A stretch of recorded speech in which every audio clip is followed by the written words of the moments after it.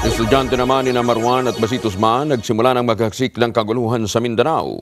Detalye mula kay Eagle News reporter Erwin Temperante. Pumikilos na upang magkasigumano ng kaguluhan ng mga naging estudyante ni Basit Usman at Marwan sa paggawa ng bomba sa Maguinda o sa Mindanao. Kahapon, dalawang improvised explosive device na gawa sa 60mm mortal ang nakuha ng PNP PRO Region 12 sa isang pampaserong bus na biyaheng Tacorong City, Isulan. Sa investigasyon ng mga otoridad, gawa ito ng rebelding Bangsamoro Islamic Freedom Fighter o BIFF na kilalang nanganganlong sa mga international terrorists sa pangungunahan ni Basit Usman. Samantala, nailigtas ng PNP ang labing pitong sibilyan na nakasakay sa nasabing pampasaherong bus na naglalaman ng dalawang pampasabog. Posibleng paraan umano ito ng pananakot ng BIFF dahil na rin sa patuloy na operasyon ng PNP kasama ng AFP sa kanila. Erwin Temperante, Eagle News.